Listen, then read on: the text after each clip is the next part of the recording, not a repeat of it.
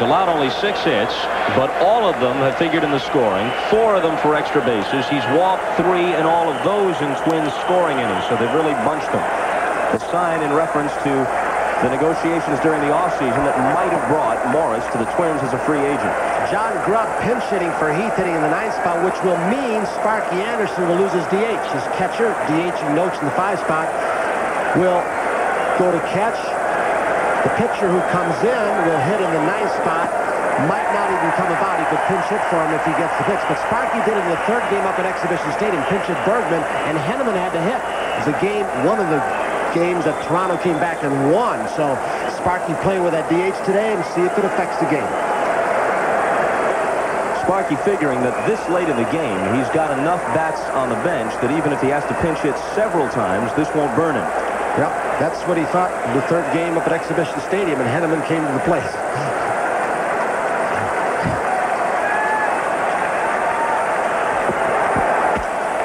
Broken bat, Gaetti goes to one knee, hustles up, and Hrbek with an ah. extraordinary play. Both ends.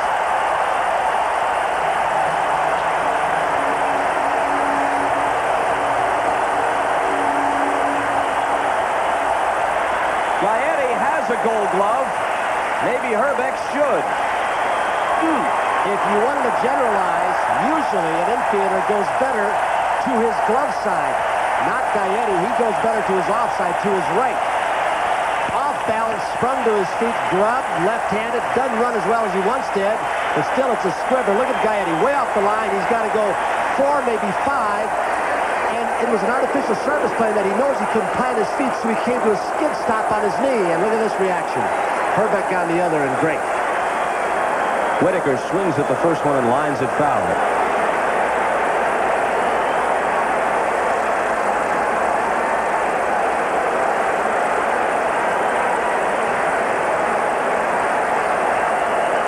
Are they putting on a show tonight and last night for the hometown folks?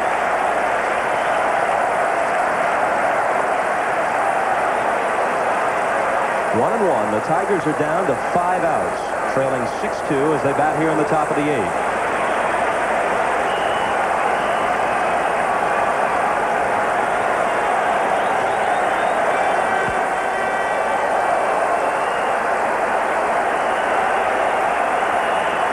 I don't think you could have found many objective baseball men who wouldn't say before this game that the deck was stacked in favor of the Tigers.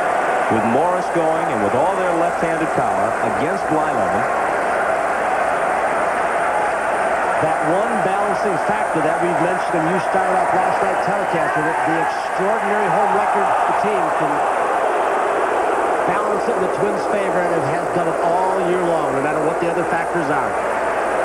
and it is no small factor that in the alternating system, this is the year for the American League West to have four of the seven at home. Here's a long drive off Whitaker's bat. Brunansky turns, but this one is up over the canvas and against those rolled up bleachers for a home run.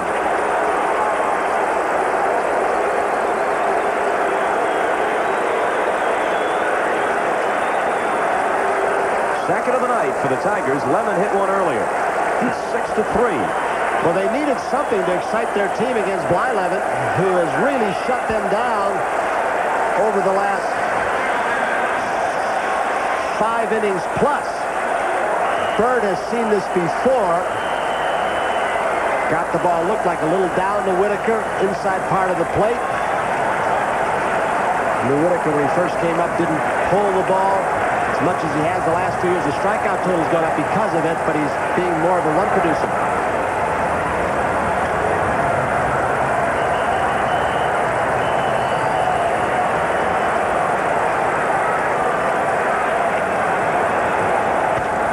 And Evans smacks one for a hit. Brunansky quickly toward the line, going to hold this to a single. With Evans' lack of speed and the game situation coming into play. Very quickly popping out of the bullpen. He's only had a few throws. There's a man warming up for Tom Kelly, and they're going to stall for a little time because he hasn't thrown too many.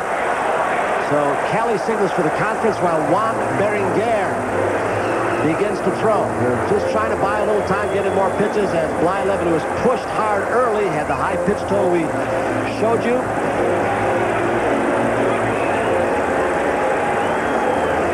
Kelly perhaps going to stall for a little more time.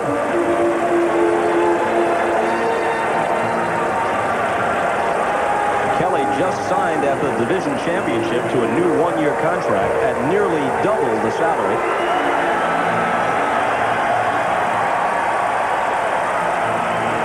The same. What Kelly was doing is looking over his shoulder to get a verbal sign from Dick Stelmaszek, the bullpen coach, whether he's ready or not. Merrill trying to break it up, comes out and says, do you want him or don't you? Making this mind up right now. Now Bert's going to have a conversation to stall for a few more pitches for Berenguer.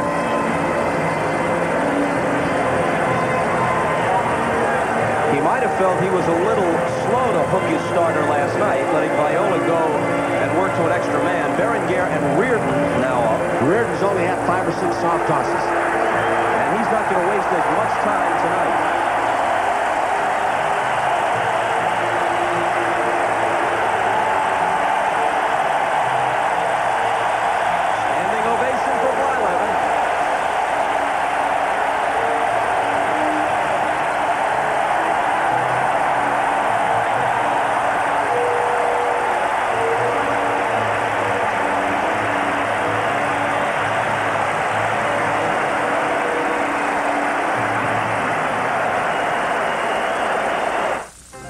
Number flashing by.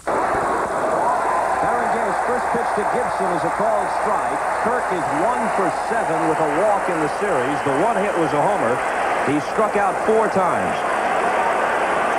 First base, Hrbek not bothering to hold Evans on. He's going to protect the gap in the right field line.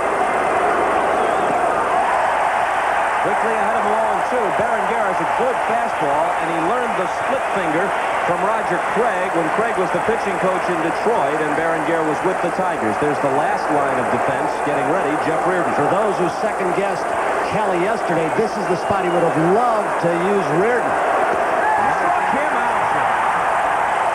A very hard throw with that front foot.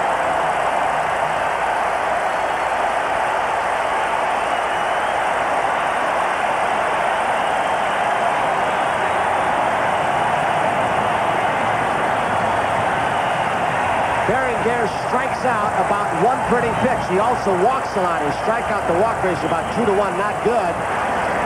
But if he walks somebody, he's got that overpowering fastball and the forkball to strike guys out.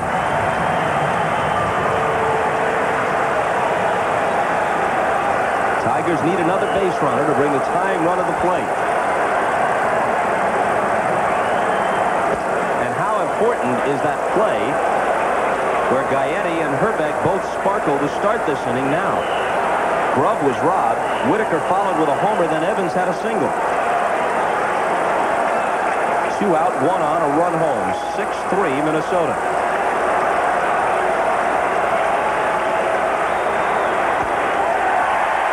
One and one. Now a chance to see Berenguer as a 17-year-old kid in an A-League in Wausau, Wisconsin, the Midwest League years ago. Sparky had him for a while. And if ever a kid threw 100 miles an hour, it was Berenguer, even at that age. But he had terrible control problems. It bounces away from Laudner, but not far enough for Evans to advance.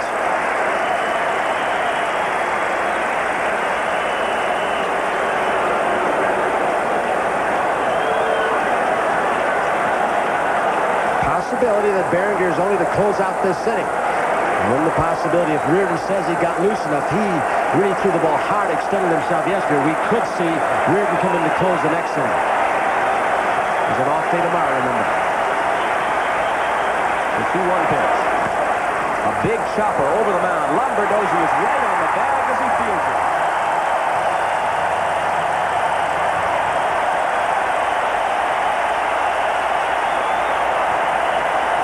Trammell is arguing that Lombardozzi actually crossed the bag before catching the ball. Here's Grubb leading off the eighth. Gaetti to his left, or his right rather, goes down on one knee, picks it up. Now watch Hrbek. Oh, and the reaction in the dugout after that play is made. Well, Trammell hit a bullet in the third with a man on. They converted to a 6-4-3. Hrbek made a great play to rob Evans of a double, which turned out to be important before that. And now that one. What is happening now with Nokes behind the plate, the DH is gone. Morris now, still in the ball game, becomes the ninth place hitter.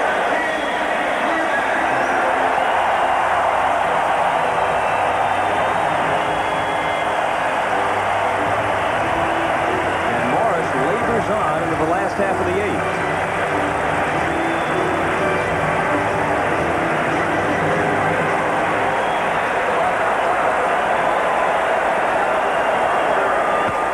Hrbek swings on the first one, bounces it to Whitaker. Plenty of time, one out.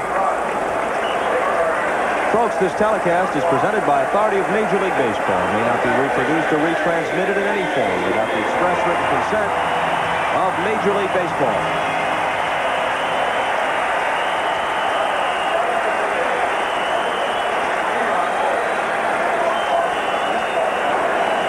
Gaetti, last night's hero, with two home runs. He did not hit a home run tonight, despite what the graphic said. He has doubled and then been retired his next two times. Changeup is walloped down the left field line. Foul. Wow, Morris's reaction was something. Body English and hand and glove trying to push and foul. It was too far inside. Again, the forkball getting him in trouble. To hit it hard, Gaetti had to pull it foul. If he tries to steer fair, jams himself. Look at the quick back. He has appeared a good part of these first two games to be looking away, hitting the other way, so they tried to come inside. I believe that was a fork ball. It just hung up there, and look at Morris. well, he's still got a sense of humor despite the 6-3 deficit.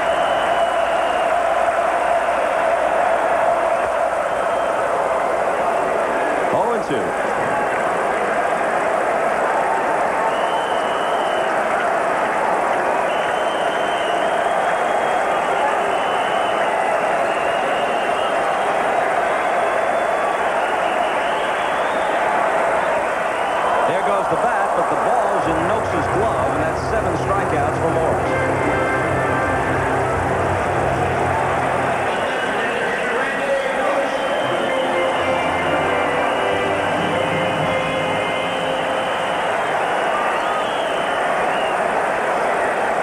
a pitch that Morris has had a lot of trouble with the good part of the day. A little fork ball. And that's hurt him.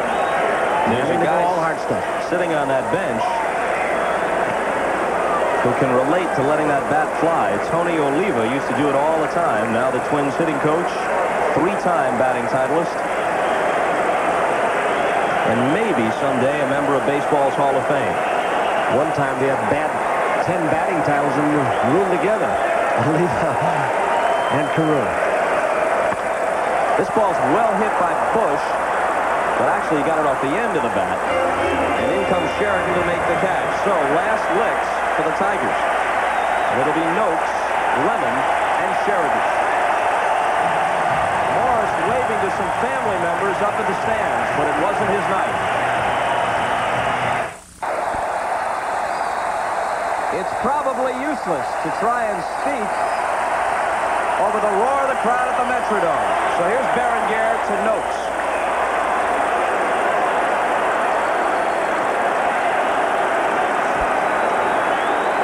Reardon was up last inning, and then he sat back down. Atherton and Schatzeder through. It appeared that he couldn't get loose, but he's up again. So he maybe has said, I'll try it again, and he's popping the ball's pretty good down there in case Berenguer gets in trouble.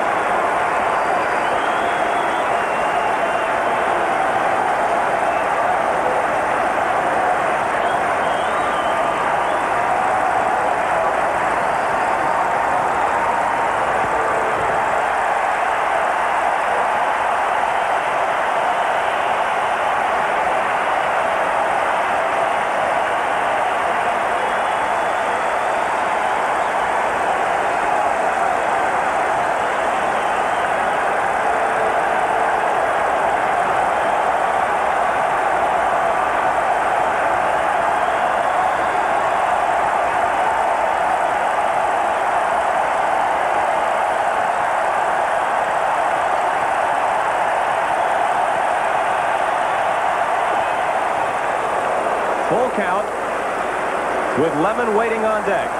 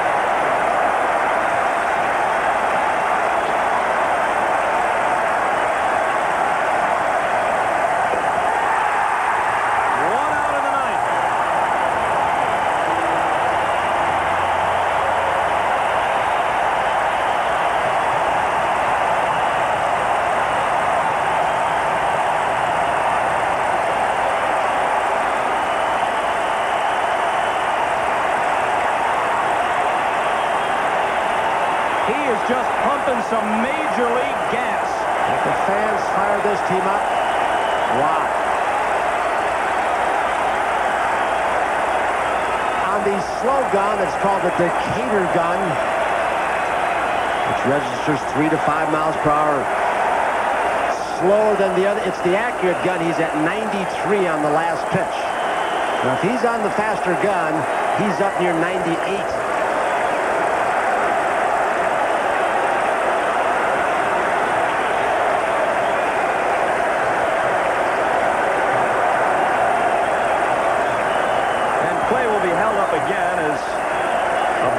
something or other has fallen on the field.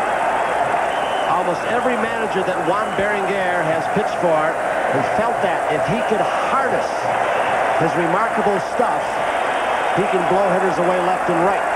He's done it to two of them already, Gibson and now Nokes.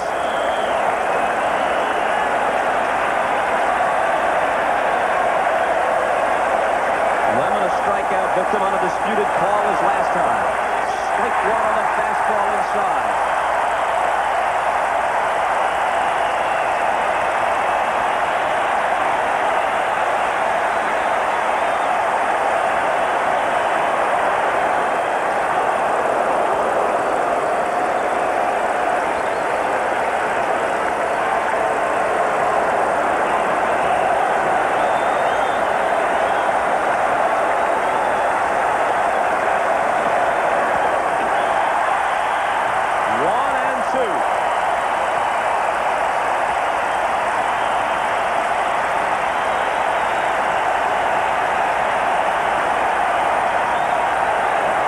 the Twins win this and even so much as win one game out of three at Detroit, Sparky's team's got to come back here and sweep two in a place where it's almost impossible for visitors to win.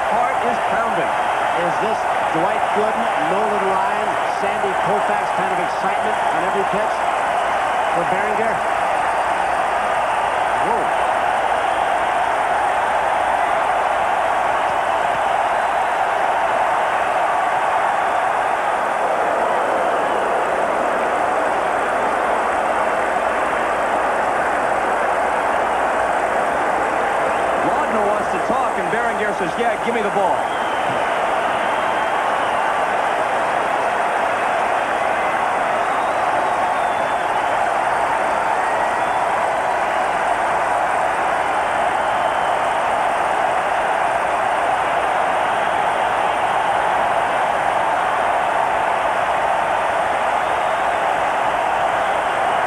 There it is!